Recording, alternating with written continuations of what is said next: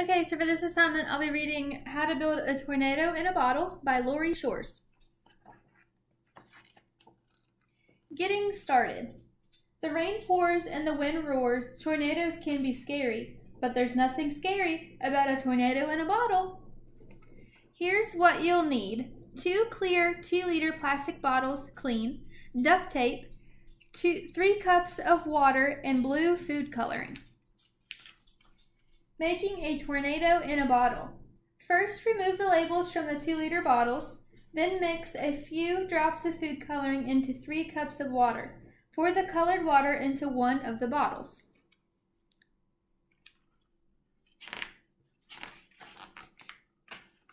Place the empty bottle upside down on top of the first bottle. Line up the openings.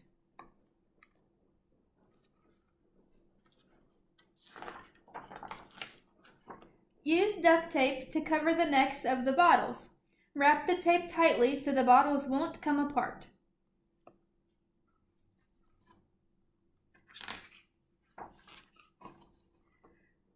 Turn the bottles over so the water is on top. Watch as the water moves slowly to the bottom.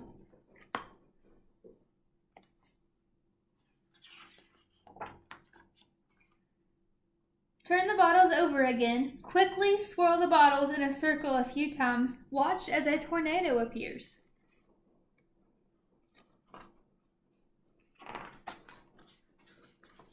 How does it work? Real tornadoes happen when hot air pushes up. Wind whips around a center point, pulling cold air down. So hot air up, cold air down, and wind around.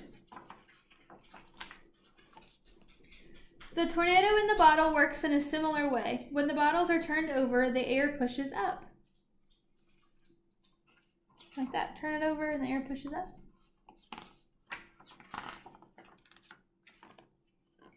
Swirling the bottles around makes the water spin around the center hole. Like wind, the movement pulls the water down.